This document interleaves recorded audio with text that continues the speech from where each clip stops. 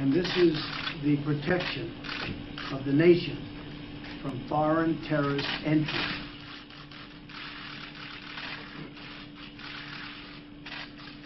L'accueil des réfugiés qui fuient la guerre, qui fuient euh, l'oppression, ça fait partie de nos devoirs.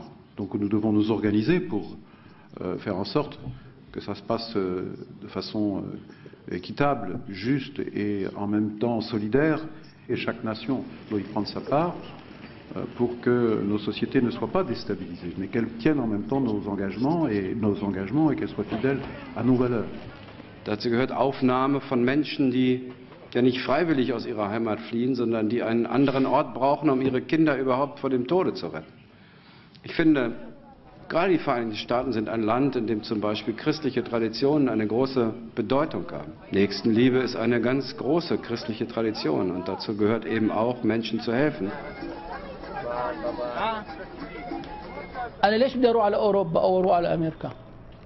أنا ألاقي فرصة عمل إلي. ألاقي فرصة عمل لأولادي. ألاقي دراسة لأولادي. إحنا بنوجه له رسالة كشعب أعزل.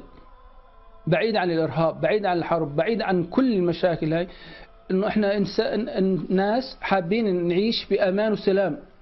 ما إحنا داخلين على أمريكا نعمل عمليات إرهابية.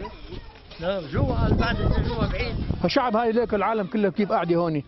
لك غطا ما عندهم. عم يحكي ترامب أو شيء أو غيره ما بده ما بده ما بده يجين غطا ما عندهم هون العالم. وشيء وغيره وغيره. يأمن أمان للعالم كل شيء وغيره. ساعتها مثل ما بده بيشتغل إحنا. لا تقول ما ما هو إذا كظلم ظلم بحق العرب كله.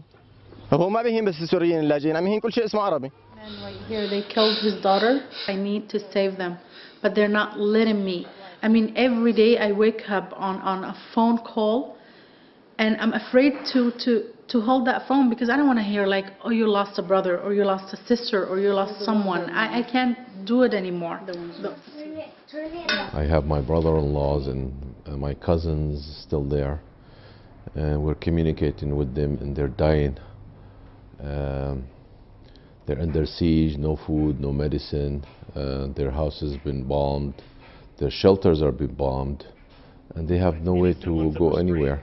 President Trump's executive orders, presented under the deliberately misleading guise of national security, are an assault on American pluralism and a failure to live up to the values that make our nation great. Moreover, they do nothing to enhance the security and safety of Americans. Of course, this is going to affect the resettlement of people who've already been assessed as being people in danger. But it is an opportunity now for other countries in the world to step it up. But not just European countries. Latin America can step forward, Asia can step forward, the Gulf, the Middle East. There's plenty of countries in the world who have ample resources to do this.